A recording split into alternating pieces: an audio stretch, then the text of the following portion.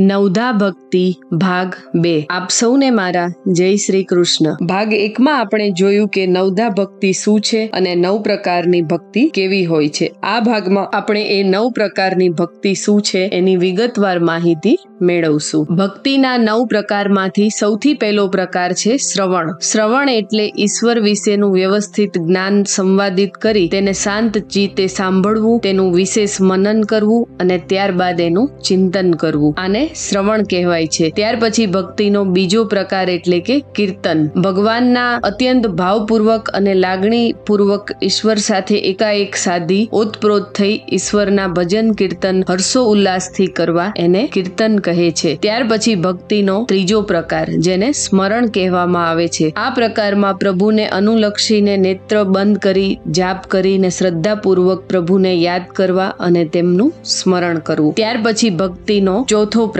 જેને પાદ સેવન કહે છે. પ્રભુના ચરણોમાં સમર્પિત થઈ જવું અને પ્રભુની આજ્ઞાનું હૃદયપૂર્વક પાલન કરવું એને જ પાદ સેવન કહે છે. ત્યાર પછી ભક્તિનો પાંચમો પ્રકાર, જેને અર્ચન કહે છે. આ પ્રકારમાં પ્રભુના સાનિધ્યમાં સતત રહીને પોતાની જાતને સમર્પિત કરી અને પ્રભુને જે પસંદ હોય તે પુષ્પ અર્પણ કરવું એ જ અર્ચન કહેવાય છે. ત્યાર પછી ભક્તિનો છઠ્ઠો પ્રકાર, એટલે કે વંદન. આ પ્રકારમાં પ્રભુને સંપૂર્ણ રીતે ભાવથી, લાગણીથી, પ્રેમથી સ્મિત વંદન પૂર્ણ શ્રદ્ધાપૂર્વક, નમ્રતાપૂર્વક વંદન કરવા અને અહંકાર અને વિકારોને દૂર રાખવા. આ પ્રકારને વંદન કહે છે. ત્યાર પછી છે દાસ્ય પ્રકાર. ઈશ્વરના ચરણોમાં શીશ ઝુકાવી, સાષ્ટાંગ પ્રણામ કરી તેમની આજ્ઞાનું પાલન કરવું એ જ દાસ્ય ભાવ છે. બસ પ્રભુ કરે તે જ ખરું. આ આ પ્રકારને દાસ્ય ભાવ કહે છે. ત્યાર પછી છે ભક્તિનો આઠમો પ્રકાર જેને સખ્ય કહે છે. સખા એટલે જે